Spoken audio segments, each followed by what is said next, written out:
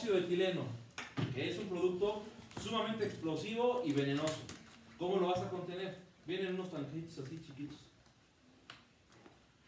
¿Cómo lo vas a contener? Hay que ver la guía. No. Si a ustedes les dan un curso sobre el manejo de materiales peligrosos, fíjense bien lo que les estoy diciendo. Esto es bien. Ustedes van a un curso sobre manejo de materiales peligrosos y lo que hacen es decirles cómo funciona la guía, manden a chingar a su madre a ese instructor. La guía de respuesta a emergencias no está hecha para la industria. Punto número uno. Está hecha para el transporte.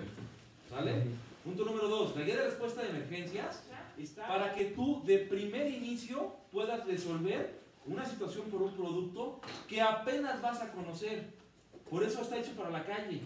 Porque yo llego en ambulancia, llego en la patrulla, llego en el- con el camión de bomberos y apenas me estoy enfrentando con la situación.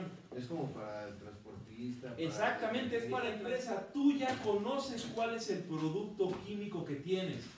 Por eso estamos hablando de esto. En la empresa tú debes saber qué producto tienes, qué cantidad, dónde lo tienes ubicado, cuál es su estado, cuál es la compatibilidad, cuáles son sus peligros.